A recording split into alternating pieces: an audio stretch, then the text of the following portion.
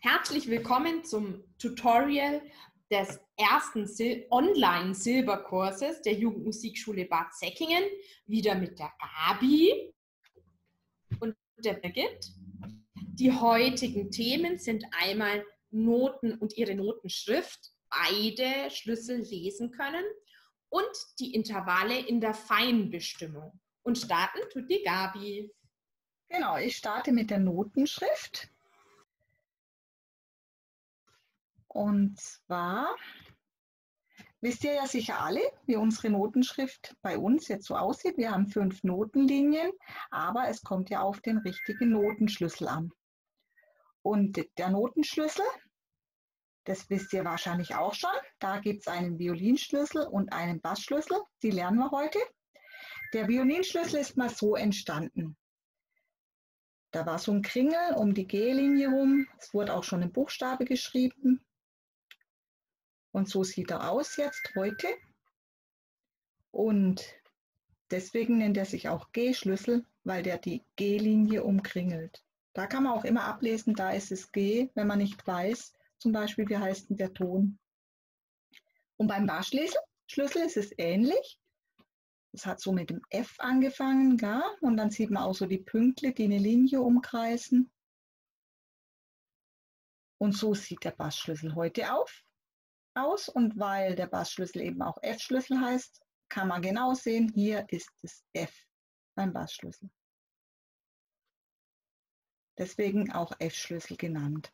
Es gibt auch andere Schlüssel, zum Beispiel hier den Altschlüssel. Das ist ein C-Schlüssel und das C, seht ihr auch, wo das ist? Das braucht man zum Beispiel bei einer Bratsche. Oder den Tenorschlüssel, Sieht genau gleich aus, aber wenn man genau hinguckt, ist ein bisschen verschoben. Auch ein C-Schlüssel. C ist jetzt hier. Den braucht man zum Beispiel beim Cello oder auch beim Fagott kann er vorkommen. Es gibt auch beim Violinschlüssel da unten so eine 8 drunter. Das ist kein Versehen, sondern das gibt es wirklich. Das heißt einfach oktaviere nach unten oder auch oktaviere nach oben, wenn die 8 oben steht oder eben zwei Oktaven nach oben. Du wunderst dich sicher, warum da eine 15 steht. Ganz einfach, wenn man jetzt die 15 Schritte hochzählt, kommt man auf die zweite Oktave, weil man ja die Riemen nicht nochmal doppelt zählen.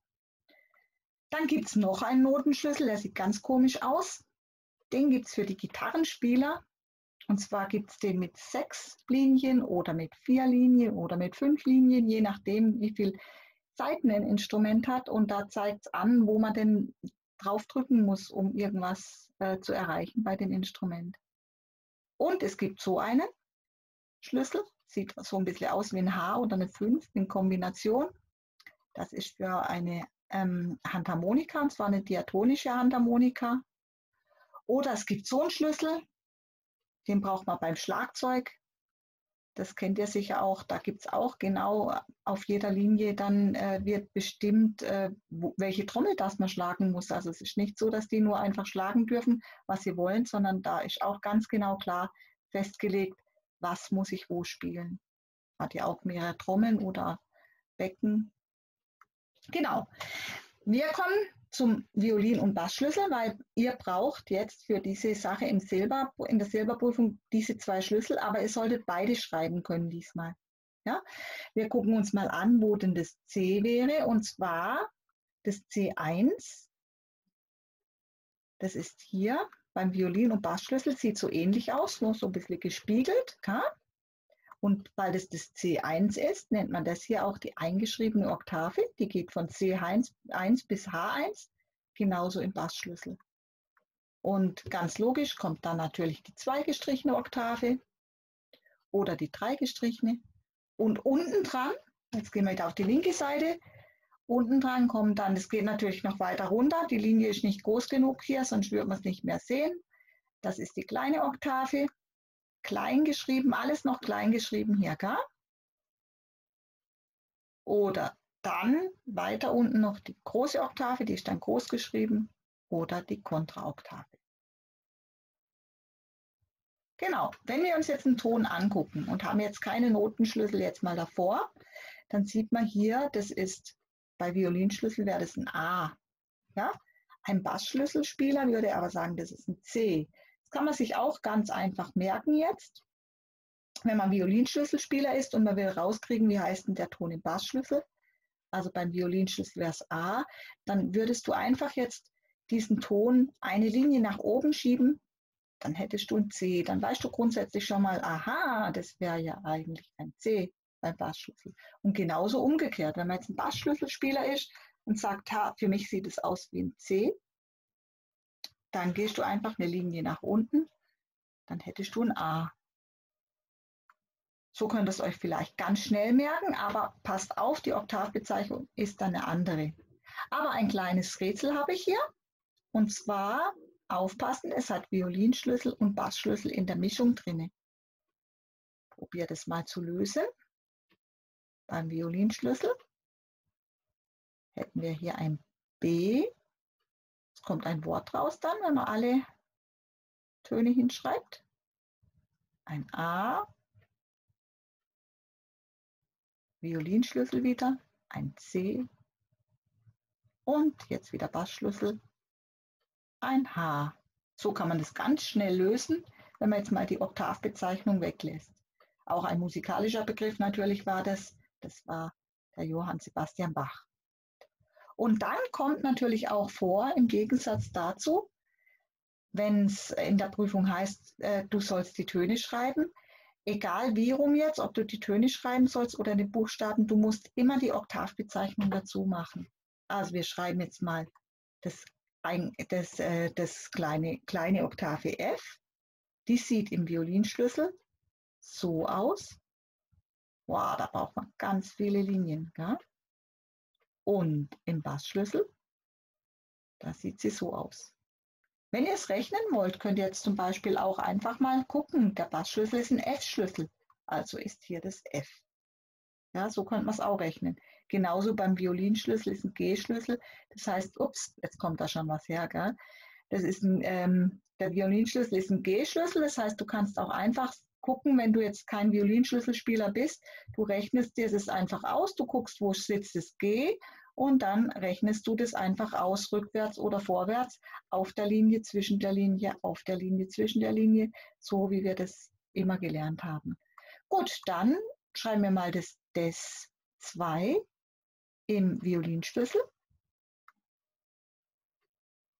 Das wäre hier einmal das D und jetzt brauchen wir noch ein Vorzeichen vorne dran, gell?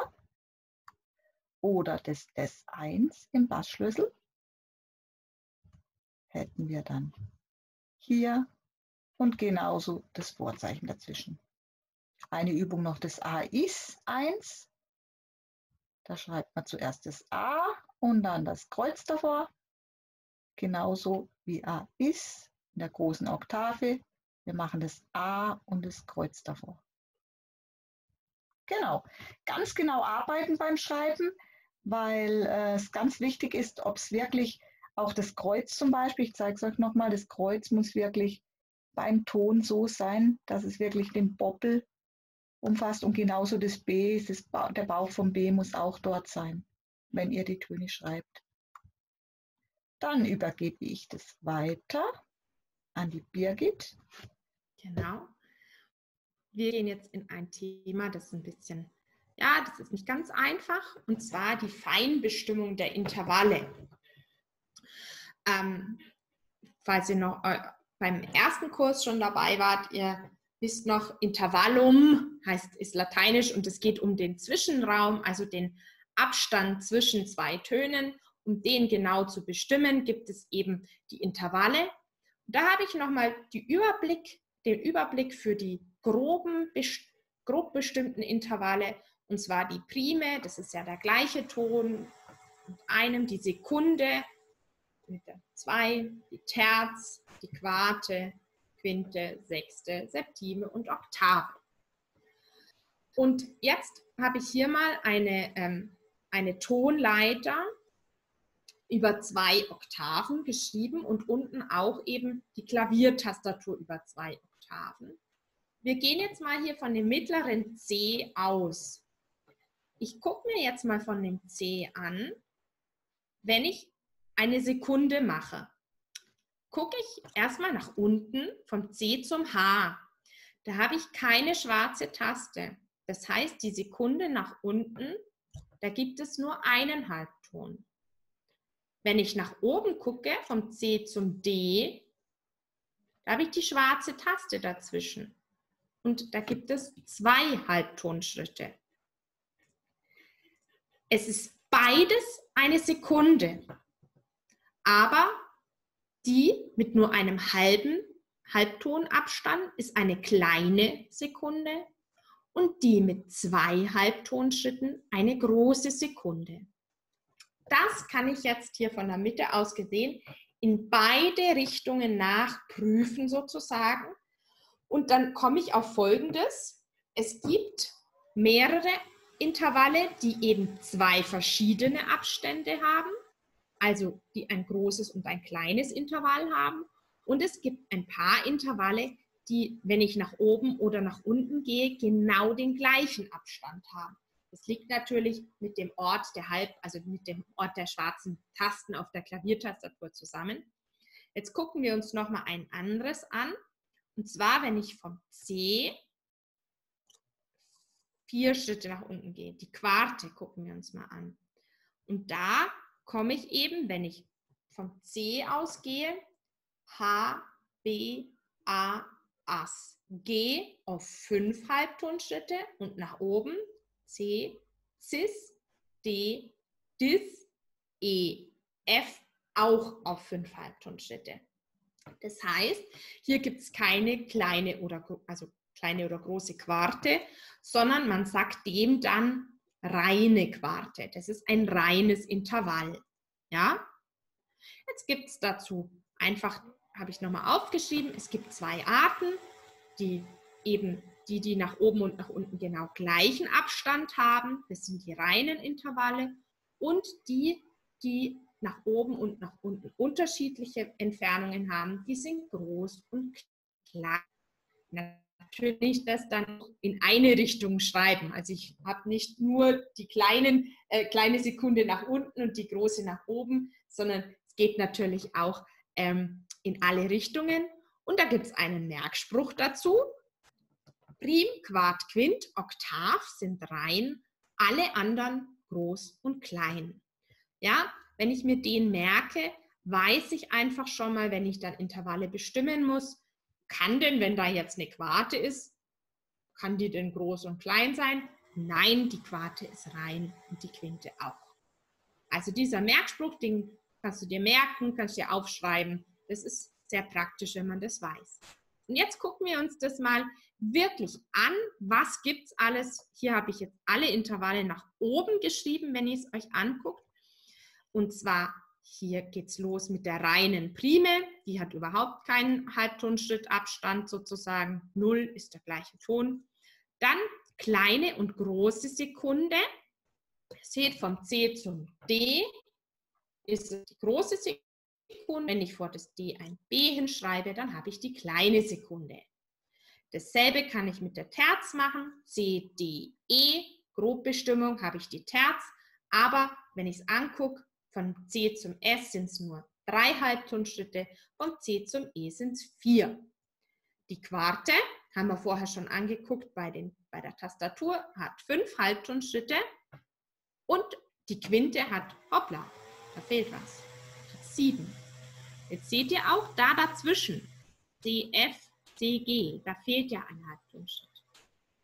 Und das ist jetzt ein Intervall, das so nicht unbedingt vorkommt. Also doch, es wird in der Musik ganz oft be benutzt, aber das heißt eben eigentlich nicht reine Quarte oder reine Quinte, sondern das ist der sogenannte Tritonus.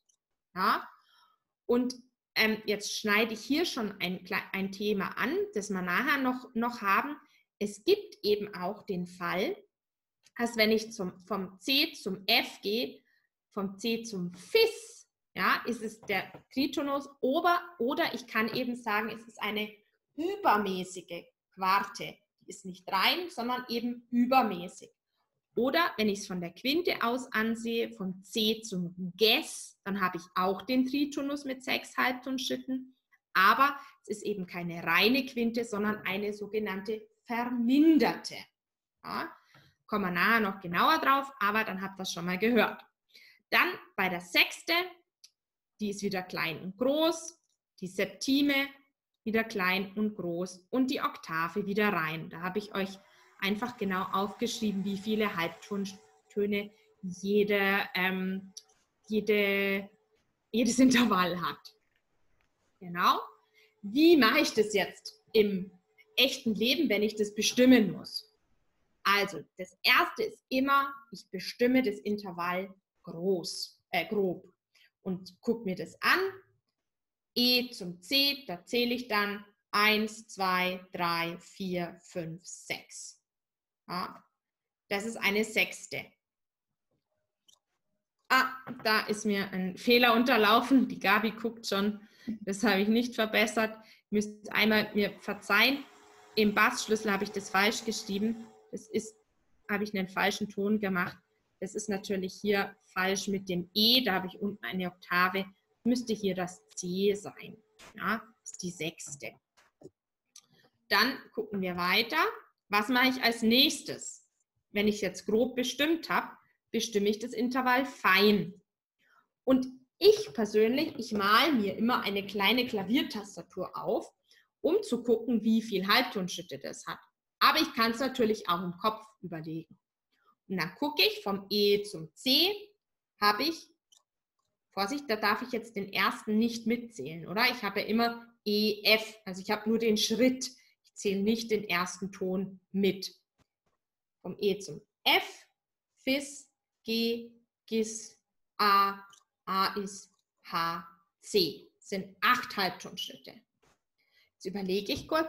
Ich habe mir immer gemerkt, der Tritonus hat sechs und dann kann ich es mir überlegen, Quinte hat sieben, Sechste hat acht oder neun Halbtonschritte. Und dann habe ich schlicht und ergreifend die kleine Sechste, weil ich habe ja acht Halbtonschritte. Jetzt habe ich eine kleine Übung für euch. Ähm, aufgemalt, wie komme ich dahin? Ist es eine, ein kleines oder ein großes Intervall? Ja, ähm, da macht man zuerst die Grobbestimmung. G, A, H. Dann habe ich die Terz. Und dann kann ich wieder gucken, rechne ich aus. G, Gis, A, A ist oder B, H sind vier Halbtonschritte kann ich gucken, Prim hat 0, Sekunde 1, 2, Terz 3, 4. Und dann lande ich mit hier vier Halbtonschritten bei der großen Terz. Ich habe jetzt hier eine Übersicht gemacht und jetzt seht ihr schon, es gibt reine Intervalle, kleine und große und dann eben noch das, was ich vorher angesprochen habe, übermäßige oder verminderte ähm, Intervalle. Und das kann ich jetzt nicht nur bei den reinen machen mit den verminderten und übermäßigen, sondern auch bei den anderen. Ich habe euch hier jetzt zu jedem ein Beispiel, alle Beispiele, die es mal gibt, gemacht. Die Prim ist grundsätzlich rein, das ist C zu C. Dann kann ich aber den zweiten Ton entweder erhöhen oder erniedrigen. Dann habe ich jeweils ja einen Halbtonschritt, also eine übermäßige Prim. Bei der Sekunde habe ich entweder, ich fange mal hier an, C zu D ist die große Sekunde, C zu Des mit einem Halbtonschritt ist die kleine Sekunde oder ich kann ja auch doppelt erniedrigen mit einem Doppel-B. Dann habe ich quasi C und C, null Halbtonschritte, heißt verminderte Sekunde. Oder in die andere Richtung, kann ja vor das D auch ein Kreuz schreiben. Ähm, dann habe ich die übermäßige. Und so geht es für alle Intervalle. Das kleine, das große, ähm, vermindert und übermäßig. Also bei den kleinen und großen habe ich vier Arten, die es gibt. Also vermindert, klein, groß, übermäßig. Und bei den reinen habe ich drei, wie ihr jetzt bei der Quarte seht. Die reine Quarte, die verminderte oder die übermäßige, die wir schon als Tritonus kennengelernt haben. Ja, das sind jetzt einfach alle Beispiele. Ich lasse die jetzt mal hier so reinfliegen, ja, die ähm, interessant sein können. Ich sage das einer, das ist eine Art der Feinbestimmung für Intervalle. Es gibt noch eine andere Art, ähm, nämlich über Tonleitern. Das wird man garantiert auch noch euch ähm, äh, zeigen. Aber das ist so dieses grundsätzliche Verständnis für die Abstände, Halbtöne zählen. Ähm, genau. Und jetzt gibt es noch eine Sache. Es gibt sogenannte Komplementärintervalle. Und zwar ist es so, wenn ich vom, von einem Ton aus in zwei Richtungen zum dann wiederum gleichen Ton gehe. Also zum Beispiel vom E, äh, vom F zum E oder vom F zum E nach oben. Dann habe ich nach unten hin die kleine Sekunde und nach oben hin die große Pri äh, Septime. Ja? Die kleine Sekunde hat einen Halbtonschritt und die große Septime hat elf Halbtonschritte. Und somit ergibt sich im Gesamten immer eine Oktave. Das kann ich mit allen Intervallen, die so zueinander, die sich eben ergänzen. Komplementär heißt Ergänzung. Wenn ich die große Sekunde nehme, gehe ich nach oben die kleine Septime und habe auch immer die Oktave. Und so habe ich das für alle anderen Intervalle auch aufgeschrieben. Kleine Terz und große Sechste ergeben zusammen eine Oktave. Die große Terz und die kleine Sechste ergeben eine Oktave. Und die Quarte und die Quinte ergeben zusammen eine Oktave. Ja? So, das, wenn euch ein bisschen der Kopf schwirrt, könnt ihr euch das euch auch nochmal ähm, ganz in Ruhe angucken oder ähm, bestimmt auch nochmal nachlesen, nochmal Details anschauen oder ähm, genau, wenn wir auch nochmal das Thema anschneiden mit den ähm, Tonleitern, dann da nochmal einschalten. Ähm, ich glaube, das für heute. Gabi, habe ich noch was vergessen? Nee, ich glaube, wir sind gut durchgekommen. Super. Alles, alles da. Cool. Dann ähm, wünschen wir euch jetzt eine gute Woche. Äh, viel Spaß ähm, bei all unseren Videos und ähm, bis demnächst, eure Gabi und Birgit. Tschüss. Tschüss.